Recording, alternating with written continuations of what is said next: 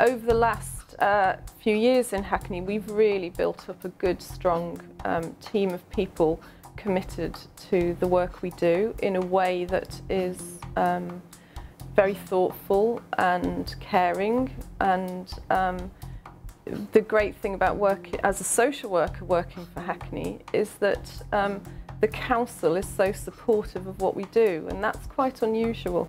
What I'm most proud of um, is the team we've built up here in Hackney, um, their commitment, um, and here they are. To be a social worker, you need to be really determined and a great advocate of the children and young people and families that you work with. Be prepared to challenge um, and be very creative and inventive about the way in which you work with hard-to-reach families, challenging young people, and just be very nurturing and caring towards those that you work with as well and show a great deal of respect. What makes the Hackney model unique is the team around the child approach that is taken to working with children and families. The way that we work means that every unit member's opinion is valued and their views are valued as well. So normally when we're in a unit meeting case discussion, each person can have their view, whether they're a social worker or a unit coordinator. I think, I think we all look at it objectively and allow everyone to give their own opinions as well.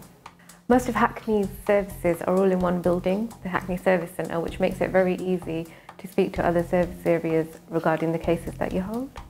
We also have to work with really challenging families um, and what's brilliant about the unit model at Hackney is that you have the whole unit supporting you, people take on different roles in different areas and it means the challenge is shared rather than you dealing with the challenge alone. The nature of the way that we work means that professionals are able to challenge colleagues at any level in the interest of advocating for the needs of our children and young people. There's a real culture of learning and sharing of knowledge and resources in Hackney.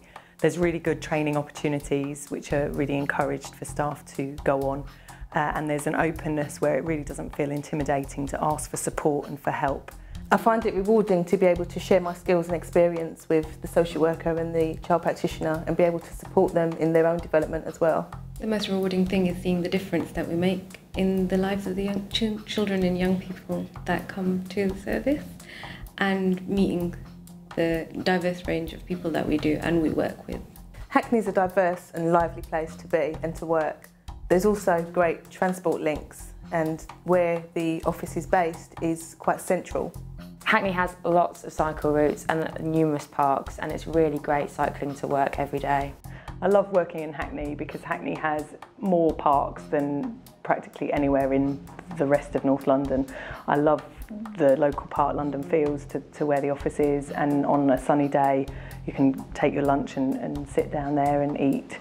Uh, you can very easily walk to a lot of places in Hackney. A lot of the visits I would walk to um, or cycle to and avoiding sort of taking public transport, which is quite a nice way to uh, enjoy the community and to look around. There's nice cafes and restaurants and bars.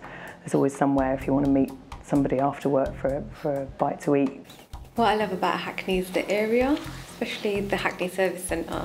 It brings the wider community together. You've got service users that come in there, staff that work in there, and we're at one with the community, so it's open to the public.